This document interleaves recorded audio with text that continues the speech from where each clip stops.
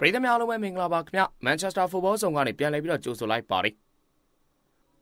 အောင်မြင်မှုကြာရှုံးမှုတွေနဲ့ဒွန်တွဲနေခဲ့တဲ့ United ရဲ့2023ခီလန်2023ရဲ့အစ United ပရိသတ်တွေအတွက်မျှော်လင့်ချင်စရာအင်တန်ကောင်းခဲ့တယ်ဇန်နဝါရီလပထမဆုံးပွဲမှာဘုံပေါက်ကို3ခုပြနိုင်ပြီး United နှစ်သစ်ကိုကောင်းဆုံးပုံစံနဲ့စတင်နိုင်ခဲ့ပါတယ်မပေးစရာမှာအဆင့်၄တီရောက်လာခဲ့ပြီးတော့ကာရာမောင်းဗလာမှာလည်းဗိုလ်လူပွဲရောက်ခဲ့တယ်လို့ FA ဗလာမှာလည်းချန်ပီယံဖြစ်ဖို့အတွက်လားလာကောင်းနေခဲ့ပါတယ်ပရီးမီးယားလိမှာအာဆနယ်ကိုရှုံးတာကလွဲရင်မန်စီးတီးပါဝင်နိုင်ပွဲတွေစက်တိုက်ရခဲ့တယ်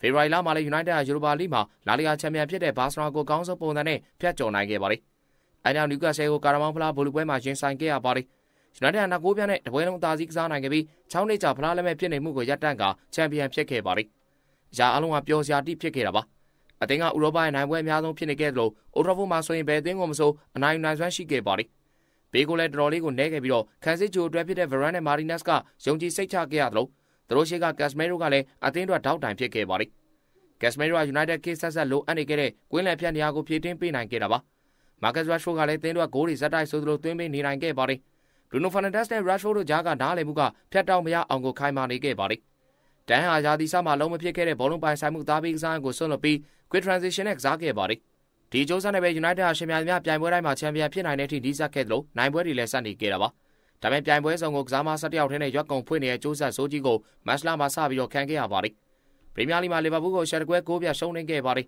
။ဒါပေမဲ့ယူရိုပါလိမှာတော့ရီယယ်ဘတ်တစ်ကိုကျော်လွှားနိုင်ခဲ့လို့ FA ဘလာမှာလည်းဖူဟန်ကိုကျော်ဖြတ်နိုင်ပြီးဆီမီဖိုင်နယ်ကိုရောက်လာခဲ့ပါတယ်။ပရီးမီးယားလိမှာတော့ဆောက်သရန်ကိုတေချခဲ့ရပါတယ်။ဒါတွေကယူနိုက်တက်ကိုတန်ပန်းရောစီတဲ့ခိုက်တန်တွေဖြစ်နေမှယူနိုက်တက်ပရိသတ်တွေသဘောမပေါက်ခဲ့ပါဘူး။ဒိုနေဧပြီလမှာနျူကာဆယ်ကိုပရီးမီးယားလိမှာပြန်တွေ့ပြီးတော့နှစ်ကိုးပြရှုံးပြီးတဲ့နောက်ပိုင်းယူနိုက်တက်ပရီးမီးယားလိချန်ပီယံမျှော်လင့်ချက်ကတရားဝင်ကုံဆုံးသွားခဲ့ပါတယ်။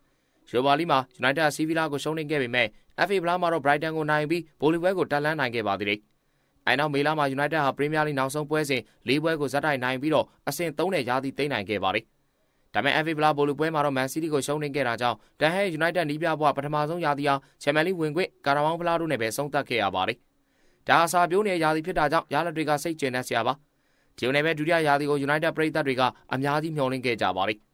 အပြောင်းရွှေ့မှာ Modern Kit အသင်းတိုင်းလိုရှိနေကြတဲ့ Super Keeper အဖြစ် Onana ရောက်လာခဲ့လို့မစ်ဆမ Watchline တို့ကလည်းမျှော်လင့်ချင်စရာကောင်းတဲ့ခေါ်မှုတွေဖြစ်လာခဲ့ပါတယ်